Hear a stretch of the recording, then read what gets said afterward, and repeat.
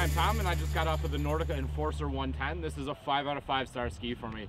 It's definitely aimed at your advanced to expert level skier.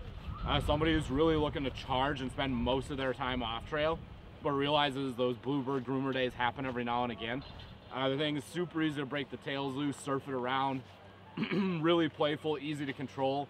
But for a ski this wide, when you put it up on the edge, it still comes around a nice, mellow kind of GS carvy turn. Super stable on edge. But it's definitely for a skier who wants to get after it, wants to put some real energy into the ski and get a lot of positive feedback. Five out of five.